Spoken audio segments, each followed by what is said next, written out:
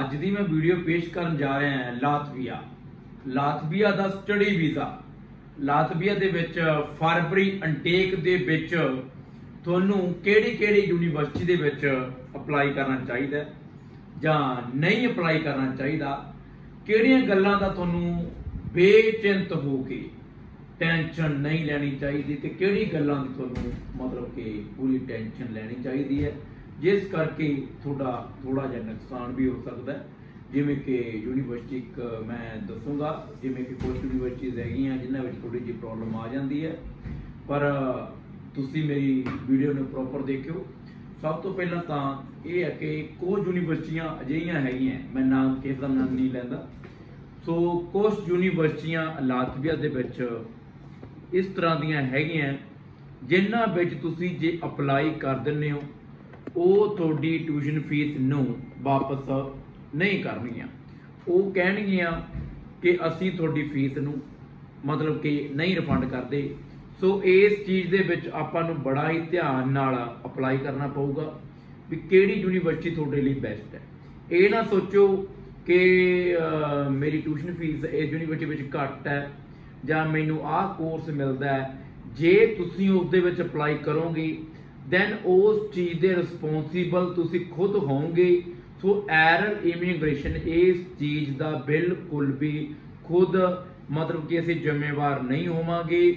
ਜੇ ਤੁਸੀਂ ਸਾਨੂੰ ਆਪਣੇ ਆਪ ਉਹਨਾਂ ਯੂਨੀਵਰਸਿਟੀਆਂ ਦੇ ਵਿੱਚ ਅਪਲਾਈ ਕਰਨ ਨੂੰ ਕਹੋਗੇ ਬਟ ਨਾਮ ਮੈਂ ਡਾਇਰੈਕਟਲੀ ਮੈਂ ਨਾਮ ਨਹੀਂ ਦੱਸ ਸਕਦਾ ਜੋ ਵੀ ਯੂਨੀਵਰਸਿਟੀ ਹੈਗੀਆਂ।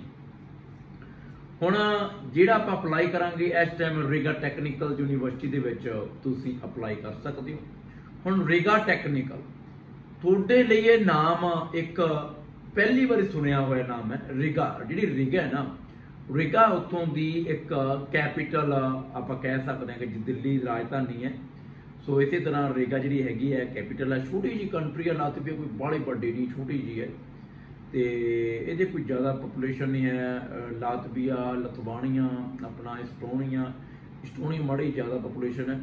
ਸੋ ਲਾਤਵੀਆ ਇੱਕ ਛੋਟੀ ਜੀ ਹੈ, ਕੋਈ ਜ਼ਿਆਦਾ ਆਪਾਂ ਕਹਿ ਸਕਦੇ ਹਾਂ ਕਿ ਐਡਵਾਂਸਡ ਜਾਂ ਬਾਲੀ ਬੈਕ ਨਹੀਂ ਹੈਗੀ। ਇੱਕ ਪੈਰ ਰੱਖਣ ਵਾਸਤੇ ਸ਼ੈਨਿਗਨ ਦੇ ਵਿੱਚ ਐਂਟਰ ਹੋਣ ਵਾਸਤੇ ਕੰਟਰੀ ਹੈ। ਇਸ ਕੰਟਰੀ ਦੇ ਵਿੱਚ ਤੁਸੀਂ ਆਪਣਾ 101% ਵੀਜ਼ਾ ਲੈ ਸਕਦੇ ਹੋ। ਪਰ ਜੇ ਤੁਸੀਂ ਮੇਰੇ ਅਕੋਰਡਿੰਗ ਯੂਨੀਵਰਸਿਟੀ 'ਚ ਅਪਲਾਈ ਕਰੋਗੇ। ਇਹ ਨਾ ਸੋਚੋ ਕਿ ਮੈਂ ਲਾਤਵੀਆ ਨਹੀਂ ਜਾਣਾ, ਮੈਂ ਸਵਿਟਜ਼ਰਲੈਂਡ ਜਾਣਾ, ਮੈਂ ਜਰਮਨੀ ਜਾਣਾ, ਮੈਂ ਫਲਾਨੀ ਜਾਣਾ। ਮੋਟਿਵ ਇਹ ਸੋਚੋ ਕਿ ਜਿੱਥੇ ਮੇਰਾ ਖਰਚਾ 12 ਲੱਖ ਲੱਗਣਾ, ਉੱਥੇ ਮੇਰਾ 4-5 ਨਾਲ ਸਰੂਗਾ। ਉਸ ਤੋਂ ਬਾਅਦ ਮੇਰਾ ਸ਼ੈਨਿੰਗਨ ਵੀਜ਼ਾ ਲੱਗੂਗਾ। ਉਸ ਤੋਂ ਬਾਅਦ ਮੈਨੂੰ ਵੀਜ਼ੇ ਦੀ ਕੋਈ ਦਿੱਕਤ ਨਹੀਂ ਆਊਗੀ। 100% ਮੇਰਾ ਜਿਹੜਾ ਵੀਜ਼ਾ ਹੈ, ਉਹ ਆ ਜਾਊਗਾ। ਜੇ ਆਪਾਂ ਇਹਨਾਂ ਰੂਲਸ ਨੂੰ ਫੋਲੋ ਕਰਾਂਗੇ ਤਾਂ। ਸੋ ਰਿਗਾ ਕੈਪੀਟਲ ਆ ਗਈ। ਟੈਕਨੀਕਲ ਯੂਨੀਵਰਸਿਟੀ ਹੈ, ਜਿਵੇਂ ਕਿ ਆਪਾਂ ਇੱਥੇ ਬੀਟੈਕ ਕਰਨੀ। ਮਕੈਨੀਕਲ ਦੀ ਕਰ ਲਈ, ਇਲੈਕਟ੍ਰੀਕਲ ਦੀ ਕਰ ਲਈ, ਐਰੋਡਾਇਨਾਮਿਕ ਦੀ ਕਰ ਲਈ ਬੀਸੀਏ ਕਰ ਲਈ ਬੀਕਾਮ ਕਰ ਲਈ ਫਲਾਨੀ ਬੀਟੈਕ ਕਰਨੀ ਹੈ ਆਪਾਂ 4 ਸਾਲ ਦੀ ਬੀਟੈਕ ਹੁੰਦੀ ਹੈ ਜਿਹੜੀ ਬੀਟੈਕ ਹੈ, ਉਹ ਆਪਾਂ ਤੁਸੀਂ ਬਾਹਰ ਜਾ ਕੇ ਕਰੋ, ਤੁਸੀਂ ਇੱਥੇ ਬੀਟੈਕ ਕਿਉਂ ਨਹੀਂ ਕਰਦੇ? ਇੱਥੇ ਕਿਉਂ ਕਰ ਰਹੇ ਹੋ? ਅੱਜ ਕੱਲ ਬੀਟੈਕ ਦਾ ਰਿਵਾਜ ਇੱਥੇ ਨਹੀਂ ਰਿਹਾ। ਪਹਿਲਾਂ ਟੈਕਨੀਕਲ ਕਾਲਜ ਹੁੰਦੇ ਸੀ ਪੋਲ ਟੈਕਨੀਕਲ ਆਪਣੇ ਪੜ੍ਹਦੇ ਸੀ, ਡਿਪਲੋਮਾ ਕਰਦੇ ਸੀਗੇ ਤਿੰਨ ਤਿੰਨ ਸਾਲ ਚਾਰ ਚਾਰ ਸਾਲ ਲਾ ਕੇ। ਲੀਡ ਵਾਲੇ ਬੱਚੇ ਹੁੰਦੇ ਸੀ ਸਪੈਸ਼ਲ ਵੀਡੀਓ ਬਣਾਵਾਂਗੇ ਆਪਾਂ ਟੈਕਨੀਕਲ ਵਾਸਤੇ। ਸੋ ਟੈਕਨੀਕਲ ਯੂਨੀਵਰਸਿਟੀ ਹੈ। ਇਸ ਦੇ ਵਿੱਚ ਜੇ ਤੁਸੀਂ ਪਲੱਸ 2 ਦੇ ਵਿੱਚ ਮੈਥ ਪੜਿਆ ਹੋਇਆ ਹੈ, ਜਾਂ ਤੁਸੀਂ ਪਹਿਲਾਂ ਡਿਪਲੋਮਾ ਕੀਤਾ ਹੋਇਆ ਹੈ, ਜਾਂ ਤੁਸੀਂ ਪਹਿਲਾਂ ਪੀਐਸ ਕੀਤੀ ਹੋਈ ਹੈ ਕਾਨੂੰਨ ਮੈਡੀਕਲ ਦੇ ਸਟੂਡੈਂਟ ਹੋ, ਫਿਰ ਤੁਸੀਂ ਅੱਗੇ ਇਸ ਯੂਨੀਵਰਸਿਟੀ ਵਿੱਚ ਐਡਮਿਸ਼ਨ ਲੈ ਸਕਦੇ ਹੋ। ਅਦਰਵਾਈਜ਼ ਤੁਸੀਂ ਨਹੀਂ ਲੈ ਸਕਦੇ। ਰਿਕੁਆਇਰਮੈਂਟ ਇਹ ਹੈ ਕਿ 60% ਨੰਬਰ ਤੁਹਾਡੇ ਪਲੱਸ 2 ਵਿੱਚ, ਤੇ ਏਜ ਤੁਹਾਡੀ 25 ਸਾਲ ਤੋਂ ਘੱਟ ਹੋਵੇ। ਤੇ ਬੈਚਲਰ ਲਈ ਅਪਲਾਈ ਕਰ ਸਕਦੇ ਹੋ। ਮਾਸਟਰ ਦੇ ਲਈ ਕੋਈ ਏਜ ਫੈਕਟਰ ਨਹੀਂ, ਕੋਈ ਮਤਲਬ ਕਿ ਹੋਰ ਕੋਈ ਫੈਕਟਰ ਨਹੀਂ ਬਟ ਪਰਸੈਂਟੇਜ ਤੁਹਾਡੇ ਦੋਨਾਂ ਫੀਲਡਾਂ ਵਿੱਚ, ਚਾਹੇ ਮਾਸਟਰ ਹੈ, ਚਾਹੇ ਮਾਸਟਰ 60% ਹੋਣਾ ਜ਼ਰੂਰੀ ਹੈ।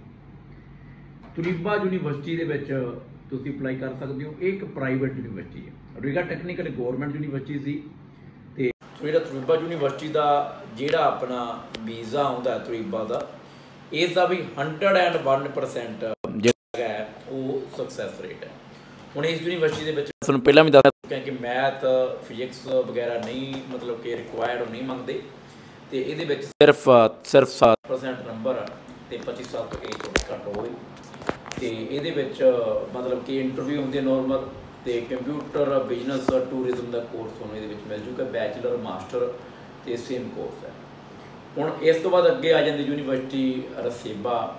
ਰਸੇਬਾ ਦੇ ਵਿੱਚ ਜਿਹੜਾ ਤੁਹਾਡਾ ਮਤਲਬ ਕਿ ਕੋਰਸ ਹੈ ਫਰਵਰੀ ਟੇਕ ਲਈ ਸਿਰਫ ਮਾਸਟਰ ਓਪਨ ਹੈ ਬੈਚਲਰ ਦੇ ਕੋਰਸ ਓਪਨ ਨਹੀਂ ਹੈਗੀ।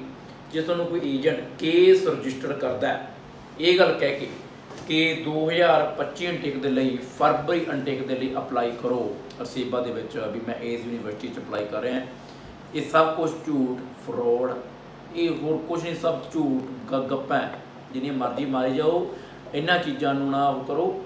ਯੂਨੀਵਰਸਿਟੀ ਦੇ ਵੈਬਸਾਈਟ ਦੇ ਉੱਪਰ ਜਾ ਕੇ ਲਿੰਕ ਤੇ ਜਾਓ, ਫਿਰ ਪਤਾ ਲੱਗੂ ਸੋ ਸੋ ਯੂਨੀਵਰਸਿਟੀਆਂ ਦੇ ਕੋਲ ਹੋਰ ਵੀ ਬਹੁਤ ਹੈ ਲਿਪਾਜ਼ਾ ਯੂਨੀਵਰਸਿਟੀ ਹੈ, ਤੇ ਡੋਗੋਪੈਲਸ ਯੂਨੀਵਰਸਿਟੀ ਹੈ, ਤੇ ਇਸ ਦੇ ਨਾਲ ਯੂਨੀਵਰਸਿਟੀ ਆਫ ਲਾਈਫ ਸਾਇੰਸ ਹੈ, ਤੇ ਹੋਰ ਯੂਨੀਵਰਸਿਟੀਜ਼, ਮਤਲਬ ਕਿ ਜਿਨ੍ਹਾਂ ਵਿੱਚ ਆਪਾਂ ਆਪਾਂ ਅਪਲਾਈ ਕਰ ਸਕਦੇ ਹਾਂ। ਲਾਤਵੀਆ ਦੇ ਵਿੱਚ ਇੱਕ ਐਲ ਬੀਟੀਯੂ ਹੈ। ਉਹੀ ਯੂਨੀਵਰਸਿਟੀ ਆਫ ਆਪਣੀ ਲਾਈਫ ਸਾਇੰਸ ਜਿਹਨੂੰ ਮੈਂ ਤੁਹਾਨੂੰ ਦੱਸ ਕੇ, ਦੱਸ ਚੁੱਕਿਆ ਤੇ ਇਹਨਾਂ ਯੂਨੀਵਰਸਿਟੀਆਂ ਦੇ ਵਿੱਚ ਆਪਾਂ ਲਾਤਵੀਆ ਦਾ ਅਪਲਾਈ ਕਰ ਸਕਦੇ ਹਾਂ। ਜਿਨ੍ਹਾਂ ਨੇ ਕੈਂਡੀਡੇਟ ਨੇ, ਲਾਤਵੀਆ ਦੇ ਵਿੱਚ ਫਰਵਰੀ ਇਨਟੇਕ ਦੇ ਲਈ 2025 ਅਨਟੇਕ ਦੇ ਲਈ ਜਾਣਾ ਸੋ ਖਰਚਾ ਆਪਣਾ 4.5 ਤੋਂ ਲੈ ਕੇ 5 ਲੱਖ ਰੁਪਏ ਉਹਨੂੰ ਡਿਪੈਂਡ ਕਰਦਾ ਕਿ ਯੂਨੀਵਰਸਿਟੀ ਕਿਹੜੀ ਹੈ।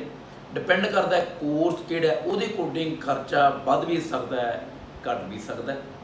ਤੇ ਨਾਰਮਲ ਇੰਟਰਵਿਊ ਹੋਊਗੀ। ਜੇ ਤੁਹਾਡੀ ਪੰਜ ਬੈਂਡਾਂ ਵਾਲੀ ਇੰਗਲਿਸ਼ ਹੈਗੀ ਹੈ, ਫਿਰ ਤੁਸੀਂ ਅਪਲਾਈ ਕਰੋ। ਇਵਨ ਕਿ ਅਸੀਂ ਪ੍ਰੋਪਰ ਇੰਟਰਵਿਊ ਦੀ ਤਿਆਰੀ ਇੱਥੇ ਫੋਨ ਤੇ ਡੇਲੀ ਕਰਵਾਉਣੀ ਹੈ। ਤੇ ਹੋਰ ਗੈਪ ਵਗੈਰਾ ਅਸੈਪਟ ਹੈ। ਬਾਕੀ ਮੈਂ ਦੱਸੀ ਨਾ ਏਜ ਫੈਕਟਰ ਆ, ਰਸੀਬਾ ਵਿੱਚ ਕੋਈ ਨਹੀਂ। ਪਰਸੈਂਟੇਜ ਫੈਕਟਰ ਕੋਈ ਨਹੀਂ। 50% ਅਸੈਪਟ ਨੇ ਰਸੀਬਾ ਦੇ ਵਿੱਚ। ਪਰ ਟਿਊਸ਼ਨ ਫੀਸ ਇਹਨਾਂ ਯੂਨੀਵਰਸਿਟੀ ਨਾਲ ਥੋੜੀ ਜਿਹੀ ਜ਼ਿਆਦਾ ਆਏ ਲੱਖ ਡੇਢ ਲੱਖ ਰੁਪਏ ਸੋ ਜ਼ਿਆਦਾ ਲੰਬੀ ਵੀਡੀਓ ਆਪਾਂ ਨਾ ਕਰੀਏ, ਇਹ ਤਾਂ ਬੈਟਰ ਹੈ।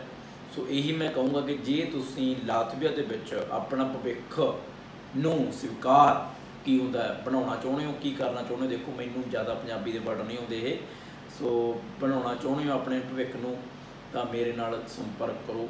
ਲਾਤਵੀਆ ਦਾ 100% ਵੀਜ਼ਾ ਆਊਗਾ ਡਿਪੈਂਡ ਔਨ ਯੂਅਰ ਪ੍ਰੋਫਾਈਲ ਅਸੀਂ ਉਹਦੇ ਅਕੋਰਡਿੰਗ ਯੂਨੀਵਰਸਿਟੀ ਦੇ ਵਿੱਚ ਅਪਲਾਈ ਕਰਾਂਗੇ। Thank you so much